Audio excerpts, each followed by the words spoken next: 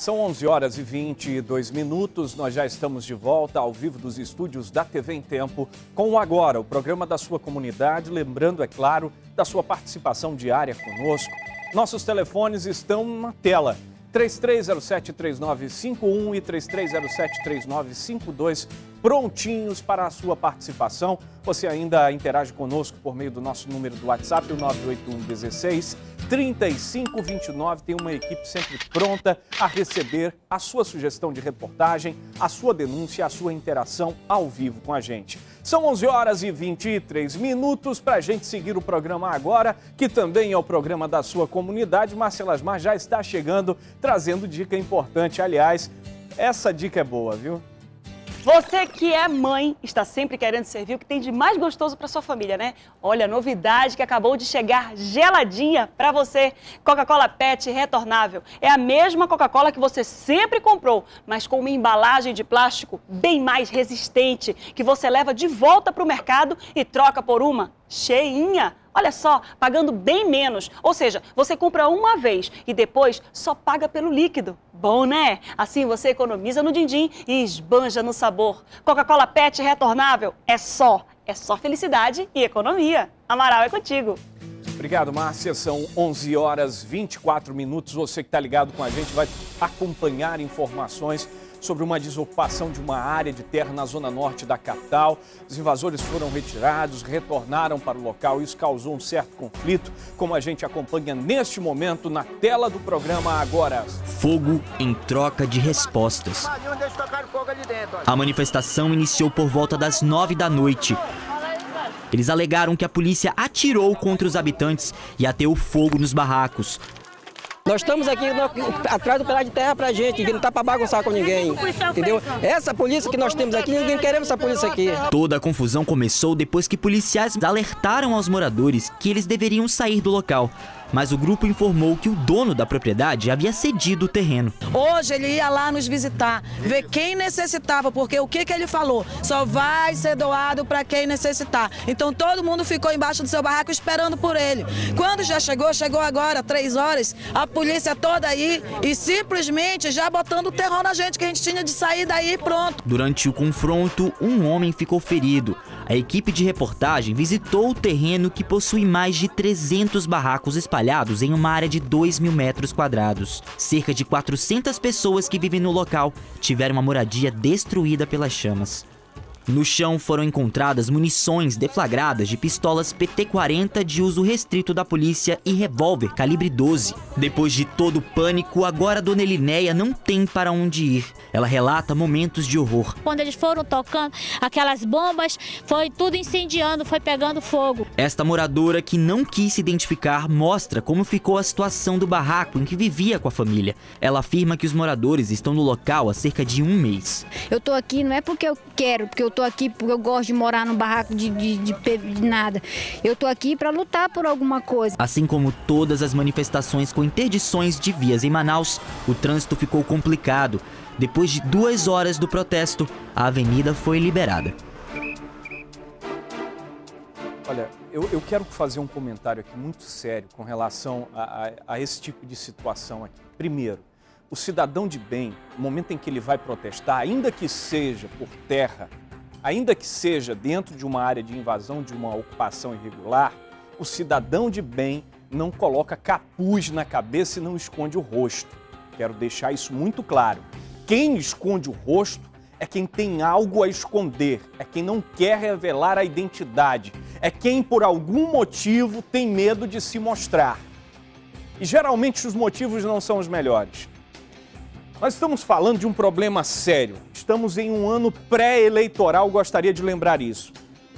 E todo ano pré-eleitoral parece que explode em Manaus e na região metropolitana uma, um movimento de invasão de terra que perde, sai totalmente do controle da, das forças públicas e age agora dessa maneira.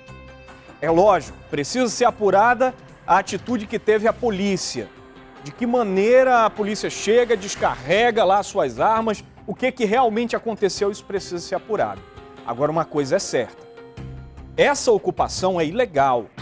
Esses moradores, esses ocupantes, estão dentro de uma área particular. Tem gente que precisa? Tem. Mas vou dizer uma coisa para você.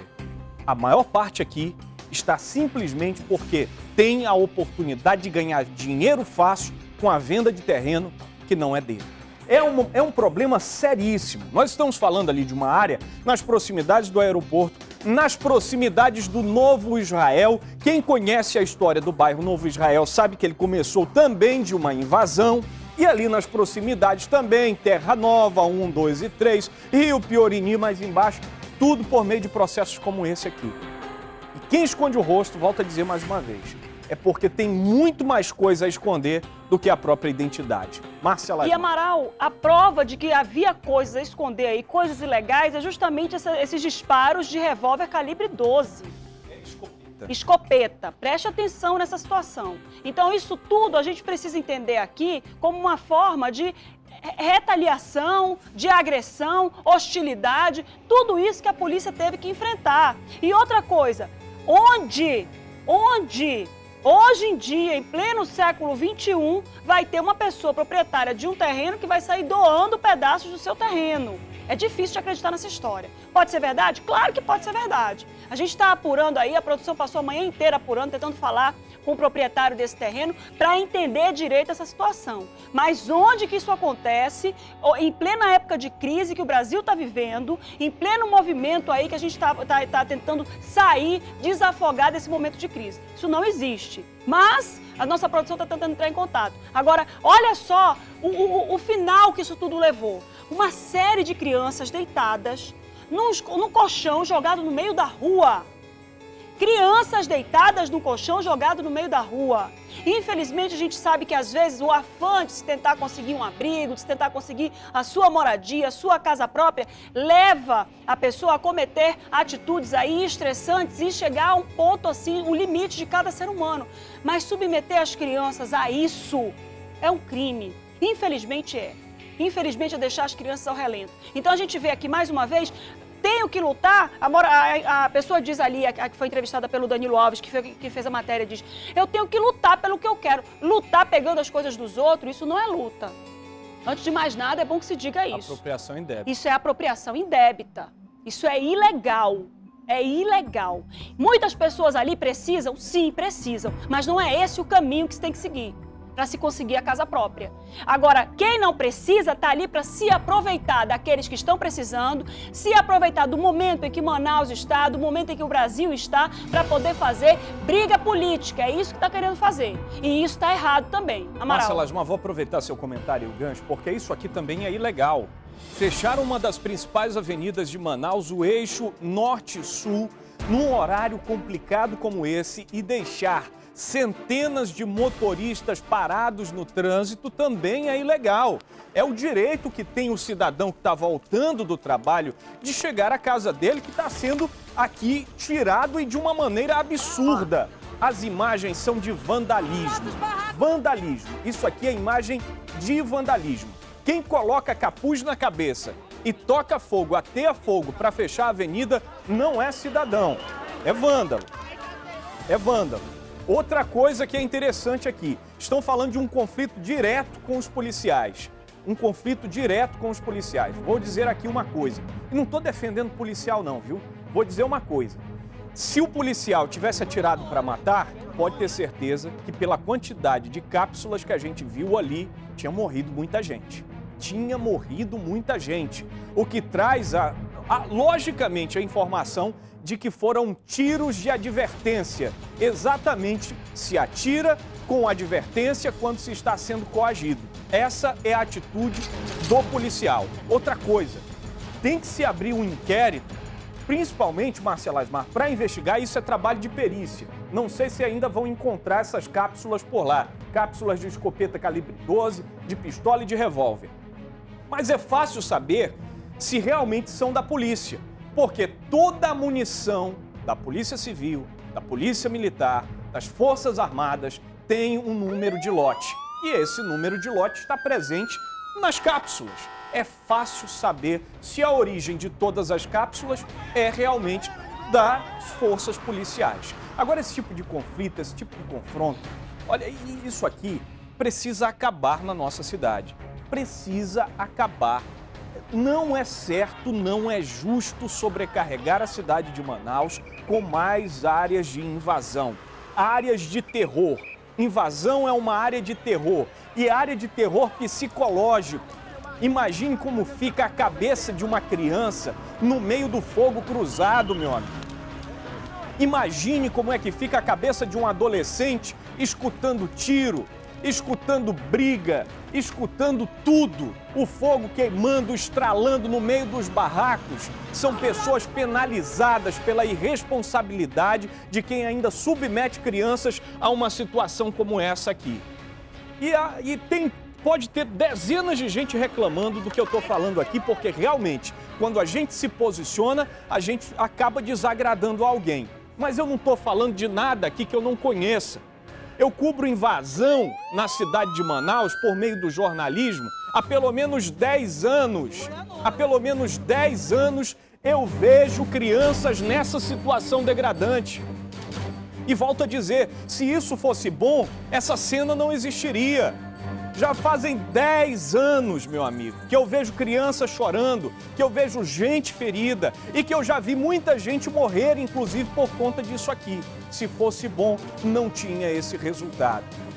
O cidadão de bem não se envolve em movimentos como esse, que são levados por um grupo restrito de pessoas que infelizmente tiram proveito disso e ganham muito dinheiro em cima da miséria de pessoas que realmente precisam ter onde morar. Não se resolve o problema de moradia fazendo invasão e tirando o direito de outras pessoas. Se resolve cobrando o poder público, cobrando de verdade o poder público uma eficiência nos programas habitacionais. É isso que se faz. Marcela Asmar. Amaral, a gente é, tentou falar com os investigadores da Polícia Civil e até os policiais militares para tentar entender um pouco como é que isso tudo começou. Segundo os investigadores da Polícia Civil que foram até o local, eles disseram que foram até o local apurar a prática de crime ambiental e foram recebidos de maneira hostil pelos invasores que acabaram fazendo disparos de arma de fogo. E por causa disso, os policiais civis que haviam ido lá, os investigadores,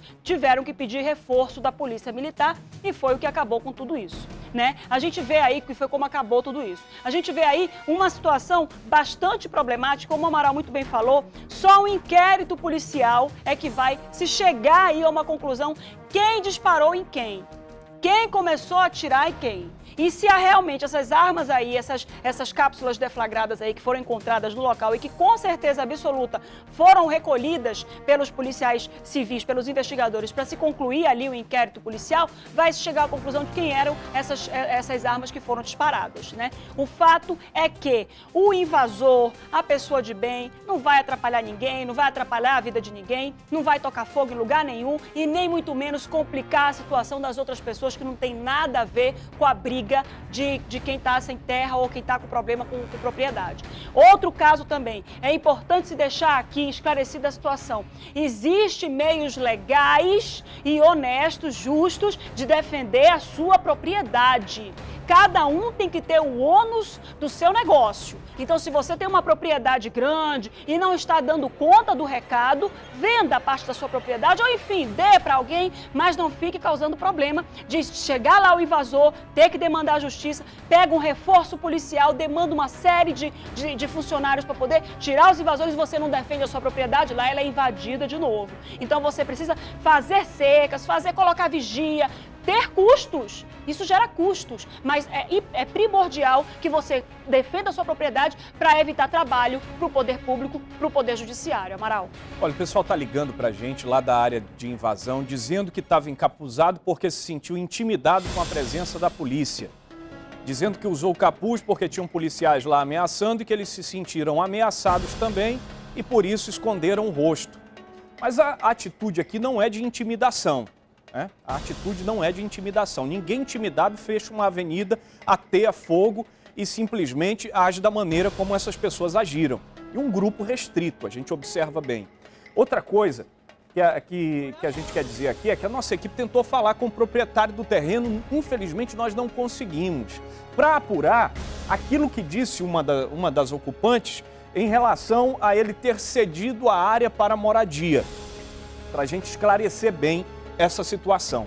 Volto a dizer ainda que é necessário um inquérito policial para apurar é, essa conduta de sair atirando dentro dessa área, né? E esse inquérito precisa caminhar. Isso aqui é, é muito sério, viu? Tem que ter um inquérito da corregedoria para apurar é, essas circunstâncias em que os policiais saíram atirando, até para ver se essas cápsulas são de armas dos policiais somente ou de outras pessoas que, porventura, poderiam estar armadas dentro da área de ocupação irregular que a gente está mostrando aqui. Agora, o que nós observamos também é uma batalha, né? É uma batalha por terra. Isso não acontece só em Manaus. Em Iranduba tive a oportunidade de ver um movimento terrível de pessoas contra empresários, empresários contra pessoas, por uma especulação de terra.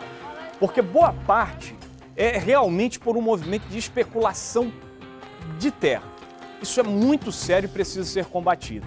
Eu, eu comentei essa semana aqui que em 2012 os principais líderes de invasão na cidade de Manaus foram condenados e presos, presos e condenados por esse tipo de crime, inclusive o crime ambiental, porque aqui se tem um passivo ambiental muito grande. E eles já estão livres e voltam a agir, porque é um mercado muito lucrativo. E esse mercado lucrativo, pode ter certeza, só é lucrativo para líder de invasão, porque a, essas famílias aqui estão tendo prejuízo. Todas essas famílias aqui estão tendo prejuízo. São pessoas que tiram um restinho de dinheiro que às vezes tem na poupança para comprar um lote e erguer um barraco. São pessoas que às vezes vendem até o que não tem, emprestam dinheiro a juros altos para comprar um terreninho e construir um barraco. E são levadas a acreditar, isso é muito sério, são levadas a acreditar que aquilo vai dar certo. E para quem já está perdendo a esperança, qualquer sombra de esperança é válido e é isso que vem acontecendo. Precisa ser combatido. Volto a dizer, é ano pré-eleitoral. Ano que vem tem eleições para a prefeitura. E aí a gente fica imaginando como isso não vai aumentar. E à medida em que aumenta, mais pessoas vão ter prejuízo e vão chorar. Infelizmente, é a realidade dura das invasões de terra na capital amazonense. 11 horas e 39 Quero agradecer a todos que ligaram. As pessoas, a gente vai falando aqui, as pessoas vão ligando. Algumas não concordam, irredutíveis não concordam com o que eu falo aqui. Isso é bom, porque eu não falo exatamente para todo mundo concordar, não.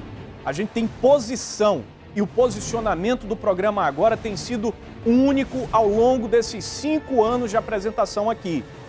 E, ora a gente agrada, ora, é claro, não vai agradar. Mas o que a gente tenta falar aqui, e de uma maneira muito clara, é que o nosso posicionamento é contra qualquer coisa que atrapalhe aquilo que é democrático e aquilo que é de direito. Porque é dessa forma que a gente vai ter uma cidade melhor para todos e não para um grupo restrito. Tá bom? Vamos em frente com o agora. São 11 horas e 40 minutos. Sua participação é importante. Você que está em Parintins, obrigado pela audiência de todos os dias em Parintins. A gente chega pelo canal 22. Alô, Parintins, obrigado a todos pela audiência. Vem aí Márcia Lasmar trazendo uma dica especial. Qual que é a dica da Marcinha agora, diretor Ivan Nascimento? Quando chegamos a 11 horas, qual que é? Qual que é a dica dela? Qual que é a dica da Márcia? 11 horas 41 minutos. Qual que é, diretor? Ah, é, né? O pessoal tá de olho mesmo. É, é dica de saúde, muito justa e importante. Márcia Lasmar é com você. Há um bom tempo que eu falo que calcitran é a sua melhor opção para combater a osteoporose. Vejam o depoimento de quem já se beneficiou com calcitran. Minha maior alegria sempre foi brincar com os meus netos.